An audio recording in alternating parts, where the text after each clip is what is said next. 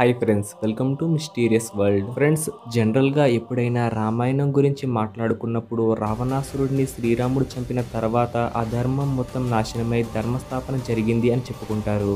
అలాగే లంకలో రావణాసురుడు చనిపోయిన వెంటనే అయోధ్యలో సంబరాలు మొదలయ్యాయి అన్న విషయం మనకి రామాయణం చదివినప్పుడు అర్థమవుతుంది. ఆ తర్వాత శ్రీరాముడికి అంగరంగ వైభవంగా పట్టాభిషేకం జరిగింది. పట్టాభిషేకం జరిగిన తర్వాత శ్రీరాముడు పదకొండు వేల సంవత్సరాల పాటు అయోధ్య నగరాన్ని పరిపాలించాడు. అయితే ఆ శ్రీరాముడు మరియు లక్ష్మణుడు తమ అవతారాలను ఎలా చాలించారు అన్న విషయం గురించి ఇంతకు ముందే మనం ఒక వీడియోలో మాట్లాడుకోవడం జరిగింది. ఒకవేళ మీరు ఇప్పటి వరకు ఆ వీడియోని చూడకపోతే ఆ వీడియోని కామెంట్ సెక్షన్లో పిన్ చేసి ఉంచుతున్నాను. వీలైతే వెళ్ళి చూడండి. అయితే ఇప్పుడు సీతాదేవి ఎలా మరణించింది అన్న విషయం గురించి ఈ వీడియోలో స్పష్టంగా తెలుసుకుందాం. ఈ వీడియోని స్టార్ట్ చేయబోయే ముందు నాదొక చిన్న రిక్వెస్ట్. ఈ వీడియోని చూస్తున్న ప్రతి ఒక్కరికి రామాయణంలో మీకు ఏ పాత్ర అంటే బాగా ఇష్టమో మాకు కామెంట్ సెక్షన్లో కామెంట్ చేసి తెలపండి. రామ రావణ యుద్ధం పూర్తయిన తర్వాత సీతారాములు లక్ష్మణుడు అయోధ్యకు తిరిగి వచ్చారు. దాంతో అయోధ్య ప్రజలందరూ కూడా సంబరాలు జరుపుకున్నారు. కానీ ఒక వార్త మాత్రం చాలా వేగంగా స్ప్రెడ్ అయింది. అదే సీతాదేవి రావణాసురుడి దగ్గర ఉన్నప్పుడు తన పవిత్రతను కోల్పోయింది అని అందరూ అనుకున్నారు. ఈ అనుమానం ఎవరికీ రాకూడదు అన్న ఉద్దేశంతోనే శ్రీరాముడు అంతకు ముందే సీతాదేవిని అగ్ని ప్రవేశం చేయమని అంటాడు. ఈ అగ్ని పరీక్ష యొక్క ముఖ్య ఉద్దేశం సీతాదేవి యొక్క పవిత్రతను ప్రతి ఒక్కరికి చాటి చెప్పడమే అయినప్పటికీ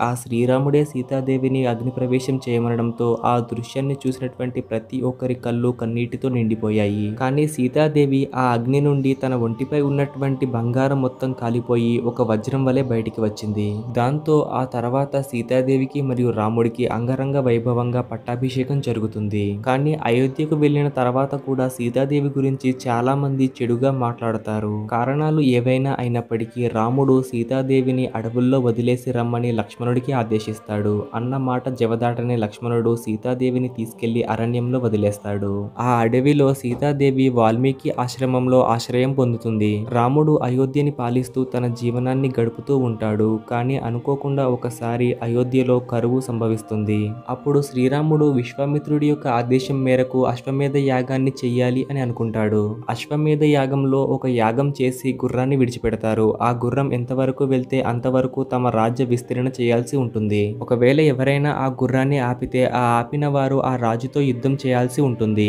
అలా గుర్రాన్ని యాగం కోసం వదులుతారు. ఆ గుర్రం వాల్మీకి ఆశ్రమం వరకు చేరుకుంటుంది. ఆ ఆశ్రమంలో ఆడుకుంటున్నటువంటి ఇద్దరు పిల్లలు ఆ గుర్రాన్ని పట్టుకుని ఒక చెట్టుకు కట్టేస్తారు. అలా కట్టిన ఆ ఇద్దరు పిల్లలు మరెవరో కాదు సీతాదేవి యొక్క కుమారులు లవకుశులు. అయితే ఆ ఇద్దరి పిల్లల్ని బంధించడంలో హనుమంతుడు లక్ష్మణుడు సుగ్రీవుడు విఫలమవుతారు.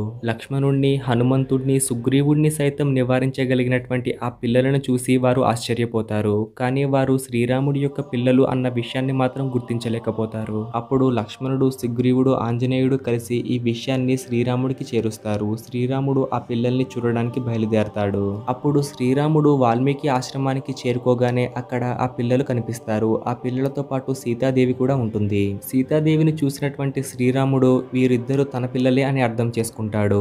అలాగే సీతాదేవిని తన పిల్లల్ని తన రాజ్యానికి తీసుకెళ్ళాలి అని అనుకుంటాడు. కానీ సీతాదేవి మాత్రం తాను రాముడితో వస్తే రాముడి యొక్క గౌరవానికి భంగం కలుగుతుంది అని భావిస్తుంది. ఎందుకంటే సీతాదేవిని ఎవరైనా తక్కువ చేసి మాట్లాడితే ఆ శ్రీరాముడు ఎంతగానో బాధపడతాడు. ఆ దృశ్యాన్ని సీతాదేవి అసలు చూడలేదు. అందుకే సీతాదేవి లవకుశులిద్దరినీ శ్రీరాముడి యొక్క చేతిలో పెట్టి వీళ్ళిద్దరూ నీ పిల్లలే జాగ్రత్తగా చూసుకో అని చెప్పి సీతాదేవి యొక్క కన్న తల్లి అయినటువంటి భూదేవిని నన్ను నీలో చేర్చుకో అని అడుగుతుంది.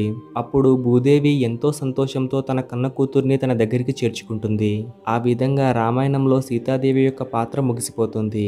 సో ఫ్రెండ్స్ సీతాదేవి యొక్క మరణానికి సంబంధించిన మా ఈ వీడియో మీకు ఎలా అనిపించిందో కామెంట్ సెక్షన్లో కామెంట్ చేసి తెలపండి. అలాగే మీరు ఇప్పటి వరకు మా ఛానల్ని సబ్స్క్రైబ్ చేసుకోకపోతే ఇప్పుడే సబ్స్క్రైబ్ చేసుకోండి. మరియు పక్కనే ఉన్నటువంటి బెల్ ఐకాన్ని కూడా యాక్టివేట్ చేసుకోండి. దానివల్ల మా వీడియోస్ మీ వద్దకు ఫాస్ట్గా చేరుకుంటాయి. Thank you friends. Thank you for watching.